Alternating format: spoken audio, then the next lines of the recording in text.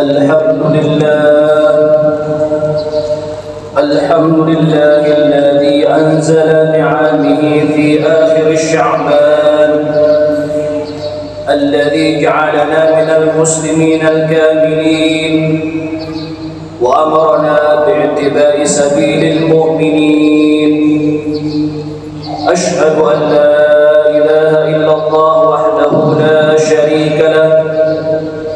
الملك الحق المبين. وأشهد أن محمدا عبده ورسوله الصادق الوعد الأمين. اللهم صل وسلم على سيدنا ومولانا محمد. وعلى آله وأصحابه ومن آمن به إلى يوم الدين.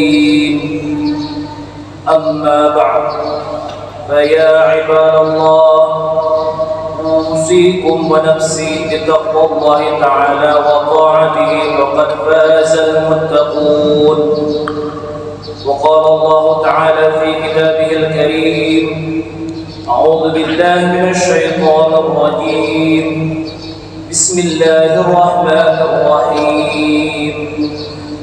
يا أيها الذين آمنوا اتقوا الله حق تقاته ولا تموتن إلا وأنتم مسلمون yang berhormat para alim ulama, para tokoh masyarakat, para hujjaj, para pengurus jamaah Masjid Raya Darussalam yang dirahmati oleh Allah Subhanahu wa taala. Alhamdulillah kita bersyukur kepada Allah Subhanahu wa taala diberikan dengan bermacam-macam nikmat hingga disampaikan kita pada akhir bulan Sya'ban. Mudah-mudahan pada akhir bulan Sya'ban ini bertepatan dengan hari Jumat ini kita diberikan kemampuan kesehatan oleh Allah Subhanahu wa taala. Diampuni segala dosa dan kesalahan kita. Diijabah doa-doa kita dan diterima amal ibadah sedekah dan salat kita. Amin. Amin ya rabbal alamin. Salawat dan salam kepada junjungan kita Nabi besar kita Nabi Muhammad sallallahu alaihi wasallam. Kepada para sahabat beliau, kerabat beliau, ahli bait beliau.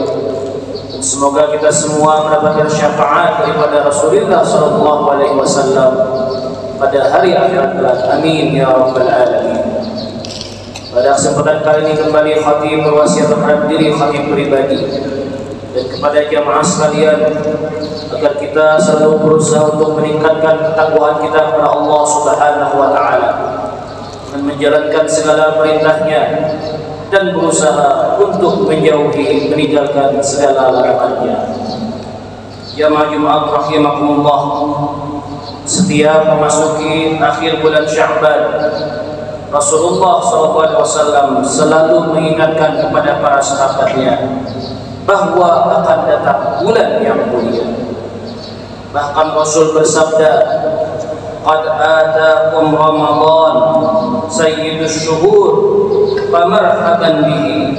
wa ahlan jaa syahrus siyam bi barakatin fakrim bihi." Yang artinya telah datang kepada bulan Ramadan, penghulu segala bulan. Maka hendaklah engkau mengucapkan selamat datang kepadanya. Telah datang bulan puasa dengan segenap keberkahan di dalamnya. Maka hendaklah engkau muliakannya.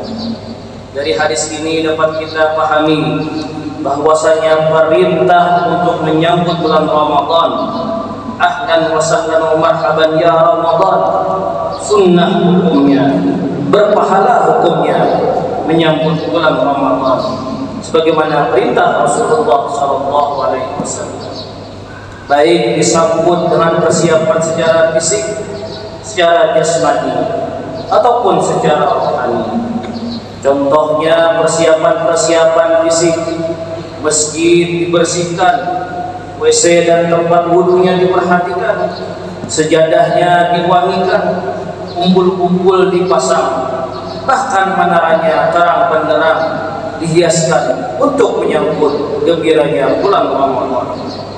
Maka bersyukurlah kita apabila disampaikan kepada bulan Ramadan sebagaimana perintah Rasulullah SAW menyambut bulan Ramadan hukumnya adalah sunnah dan berpahala. Ya majmuat rahimahullah. Ada dua hal yang dilakukan akan persiapan menjadi lebih baik kita menyambut bulan Ramadan. Yang pertama, jangan sia-siakan ibadah di bulan Ramadan. Mari kita perbaiki dan perbaharui niat untuk beribadah kepada Allah, untuk meminta ampun kepada Allah Subhanahu wa taala. Para ahli-ahli kubur mereka ingin dihidupkan kembali untuk bertemu dengan Ramadan karena berharganya setiap detik, berharganya setiap menit yang ada di bulan Ramadan.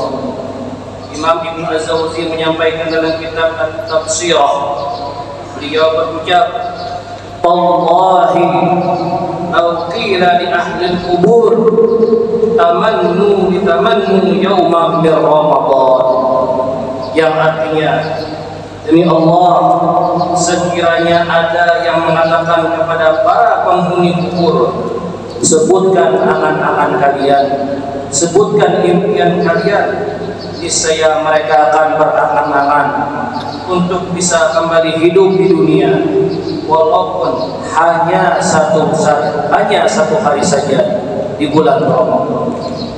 Oleh karena itu sungguh sangat ironi, sungguh sangat menyedihkan orang yang hidup tidak gembira dengan adanya bulan Ramadan kalah dengan orang-orang yang ada di alam kubur mengharapkan kembali hanya satu hari di bulan Ramadan. Persiapan yang kedua yaitu kawal apa yang kita kawal. Jangan lepaskan awal malam pertama di bulan Ramadan. Rasul berkata, "Idza kana awal lailah min syahr Ramadan, nazara Allah ila khalqihi, wa idza nazara Allah ila 'abdihi, lam yu'adibuhu 'abadan." Yang artinya Ketika malam pertama bulan Ramadan Allah melihat kepada makhluknya. Ketika Allah melihat kepada seorang hamba Maka dia tidak akan mengazabnya Bagikan seorang yang suci keluar daripada rahim Ya mahdumat rahimahullah Maka kita kawal malam pertama bulan Ramadan. Jangan sampai kita sibuk dengan perkara-perkara dunia. Karena Allah subhanahu wa ta'ala turun ke muka bumi melihat para hamba-hambanya bahkan para ahli ma'rifat salah satunya adalah guru sekumpul beliau mengajarkan kita untuk membaca surah Al-Fatah sebanyak tiga kali pada malam pertama bulan Ramadan. Fadilahnya akan diberikan kelapangan rezeki selama satu tahun tersebut. Bahkan Rasulullah SAW pun bersabda lindungilah harta kalian lindungilah istri-istri kalian dan hamba sahaya kalian dari kerusakan, dari kebinasaan dengan membaca surah Inna Fatahna. Ya majmuat rahimahullah. Oleh karena itu, ya khutbah yang singkat ini, marilah sama-sama kita perbaiki niat kita untuk menyambut bulan Ramadan dan semoga Allah Subhanahu wa taala berikan kita kesehatan, keafiatan untuk dapat mengendarai bulan Ramadan ini dari awal hingga akhir dengan sebaik-baiknya dan diampuni dosa-dosa kita. Amin. Amin ya rabbal alamin. Semoga Allah Subhanahu wa taala melindungi diri kita, melindungi istri kita, mengampuni kedua orang tua kita dan berkahi rezeki kita dan melapangkan segala urusan kita. Amin. Amin ya rabbal alamin. أعوذ بالله من الشيطان الرجيم بسم الله الرحمن الرحيم والعصر. إن الإنسان لفي خسر. إلا الذين آمنوا وعملوا الصالحات وتواصوا بالحق وتواصوا بالصبر.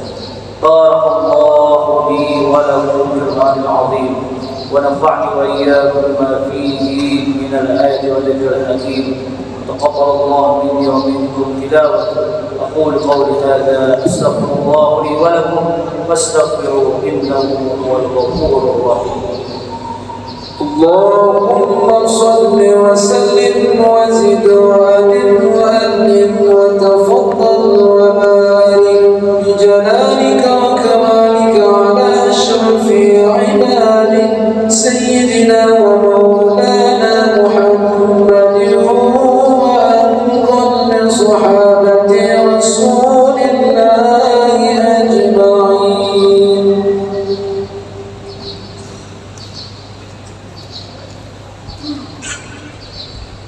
الحمد لله الحمد لله الذي نور قلوبنا بالهدى والإيمان والذي أرحمنا بالمغفرة والتوبة.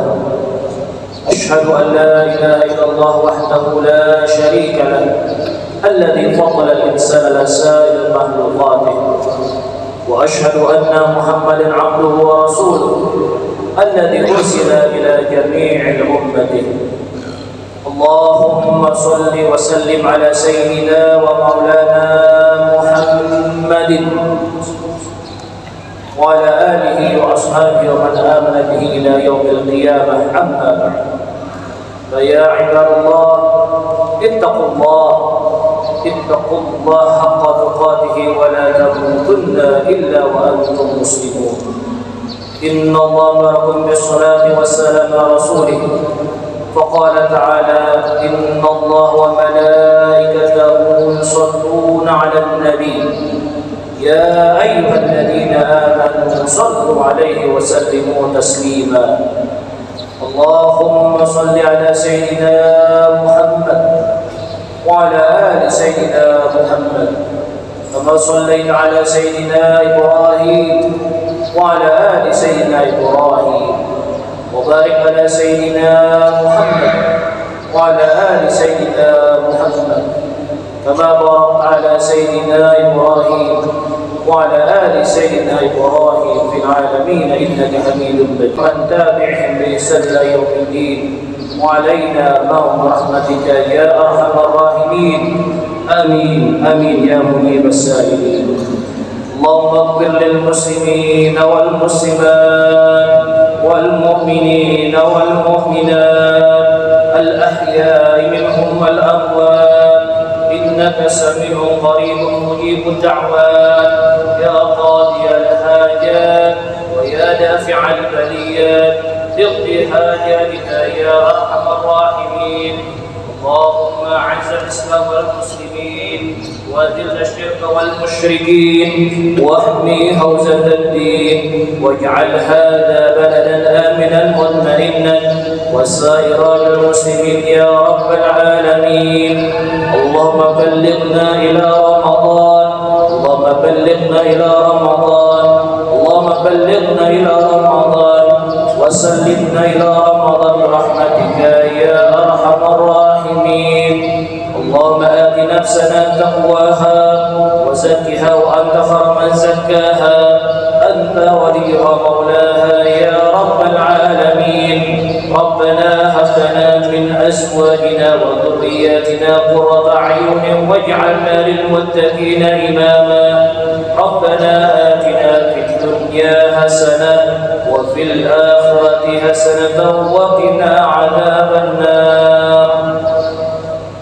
عباد الله إن الله يأمركم بالعدل والإحسان وإيتاء ذي القربى وينهى عن الفحشاء والمنكر والبغي يعظكم لعلكم تذكرون. واذكروا الله يذكركم واشكروه على نعمه يذكر واسألوه من فضله يعطيكم. ولذكر الله أكبر والله يعلم ما تصنعون أقيموا الصلاة.